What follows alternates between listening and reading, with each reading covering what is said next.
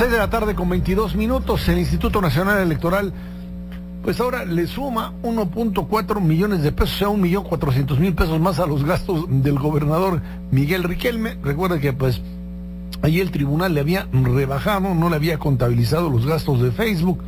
Y mm, bueno, pues ahora le encontraron otro, otra lanita ahí que se gastó y esto implica que rebasa el em, tope de gasto de campaña por 9.2%. Tenemos en la línea Ciro Murayama, consejero de línea. Ciro, buenas tardes. Hola, Esa, muy buenas tardes. Un gusto estar contigo como siempre. A ver, ¿cómo es que mm, finalmente mm, logran eh, acreditar un gasto extra para um, Riquelme para el PRI en Coahuila? Pues mira, como bien señalas, el INE ya había hecho la fiscalización de la campaña de todas las campañas, incluida Coahuila, que tuvieron elección el 4 de junio. Eh, de acuerdo a la ley, el INE tiene alrededor de 40 días para llegar a conclusiones, así que el 17 de julio presentamos el dictamen al Consejo General, se votó, ahí se determinó en el caso de Coahuila un rebase de tope de los dos candidatos que más votos obtuvieron a la gubernatura y después los partidos impugnaron ante el tribunal. El tribunal en efecto nos dijo que eh, los gastos que nosotros no habíamos encontrado como pagados a Facebook eh, sí habían sido pagados, es decir, eh, consideró que nuestra conclusión era incorrecta y a la par, eh, un mes después de la elección, el PAN presentó una queja contra su adversario, contra la coalición encabezada por el PRI, en la que se quejaba de múltiples gastos no reportados por su partido rival y nosotros desahogamos esa investigación, dimos derecho de audiencia y a la vez con lo que el propio partido había alegado en el caso de Facebook, encontramos que hubo 84 videos que se eh, difundieron, que ayudaron para la propaganda del candidato a gobernador en las redes sociales, que en efecto eh, se nos reportaron, pero por haber sido pagados a Facebook para que esta red social eh, lo difundiera y además pagaron para que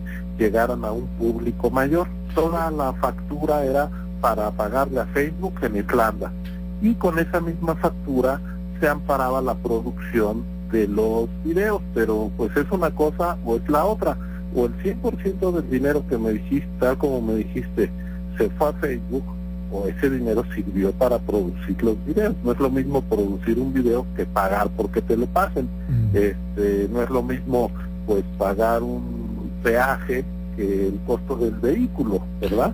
Entonces, nosotros pues encontramos que había inconsistencias en la respuesta que nos dio el partido, que no estaba, que o acreditaba Facebook o acreditaba el, la producción, pero los 100 centavos de un peso no pueden servir para pagar dos gastos distintos a la vez. O sea, de, la respuesta, perdón, eh, de la respuesta inicial, del eh, planteamiento inicial con el que ustedes eh, documentaron lo que suponían era una irregularidad, de ahí se infiere el segundo, el segundo gasto, ¿correcto? así es, el dicho del partido diciendo, mira, yo pagué Facebook que todo lo que le di a este proveedor, él se lo pagó a Facebook. Ah, ok, entonces todo este dinero está pagado para eso. Bueno, entonces esta factura no me ampara producción porque ellos mismos dijeron toda la el dinero que se dio este proveedor sirvió para colocar publicidad en Facebook. Se colocó la publicidad, el cliente, es el partido, entregó muy bien partido. Entonces, ¿a quién le pagaste porque te hiciera estos videos de propaganda? No, pues está en la factura, ¿no? Pero esa factura es Facebook ante tal contradicción decidimos sancionar. Ahora, este, la no producción de Perfecto. Ahora, esto implicaría otra vez un rebase del tope de gastos de campaña que implicaría necesariamente la anulación de la elección.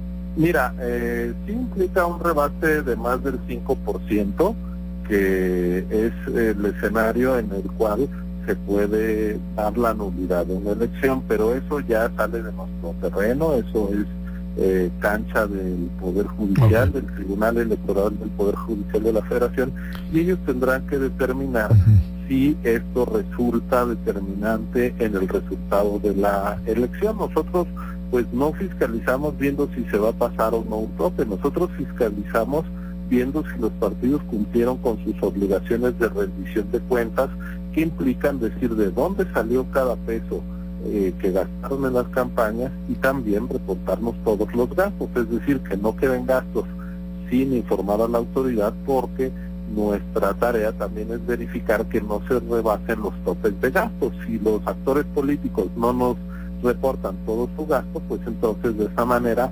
eluden o se alejan eh, de la cercanía del tope, que pues es una obligación no, no rebasar esos montos para eh, favorecer que haya equidad en la contienda y que no sea eh, pues el gran derroche lo que esté siendo determinante en una elección, de tal manera que pues nosotros llegamos a estas conclusiones, yo ayer lo decía en la mesa de Consejo General, si el acusado fuera el hoy quejoso y viceversa, nuestra decisión sería la misma, no nos importa si es un candidato del PRI, del PAN, de Morena, del PRD, del PT, lo que estamos encontrando es inconsistencia en la información que ellos nos entregaron y eso fue sancionado ayer por el Consejo General. Ellos ya anunciaron están en todo su derecho, que recurrirán ante el Tribunal Electoral porque todas las decisiones de nosotros como autoridad administrativa son revisables por el tribunal y pues ya veremos qué dice el tribunal que tiene pues en esto siempre la última palabra. Ahora, si no hay una nota aquí que dice que la sala superior del Tribunal Electoral les daba a ustedes un plazo de 10 días para concluir con la revisión de las quejas derivadas de la elección de gobernador y que ahí habían una que ustedes no habían votado, que tiene que ver con la renta de una camioneta usada durante la campaña prista. Esto lo dice el magistrado Reyes Rodríguez Mondragón. ¿Puedes decir de qué se trata? Sí, es en efecto una queja que también se impuso durante la eh, sobre gastos hechos durante la precampaña. Esta queja está agendada para ser resuelta mañana por la Comisión de Fiscalización. ¿Y se va a presentar junto con el otro dictamen? Pues no, ya, ya va al Consejo Directo. Va directo al Consejo. Ya fue votado, o sea, ya sería la última queja que queda, pero incluso es de pre-campaña, es un asunto eh, menor porque la pre-campaña pues ya se acabó y no tuvo... No, no tiene ninguna trascendencia. que este, los candidatos ya los, sí, precandidatos se volvieron candidatos. No, claro, o sea, esto no se puede acumular, esto no se puede acumular al candidato. No, de ninguna Imposible. Bueno, ahí está. Señor Murayama, consejero de línea, muchas gracias por tomar la llamada. Gracias a ti, Esra. Muy buenas tardes. Buenas tardes. 629. Esto es MBC Noticias. Usted escucha a Esra Chabot en MBS Noticias. Continuamos. Siga a Esra Chabot por Twitter, arroba